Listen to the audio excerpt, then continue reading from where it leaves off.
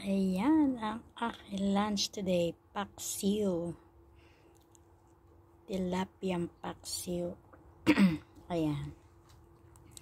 My friend gave me the tilapia.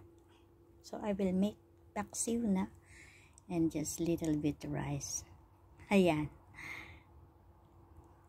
Kain po tayo. Ayan, yum yum yum.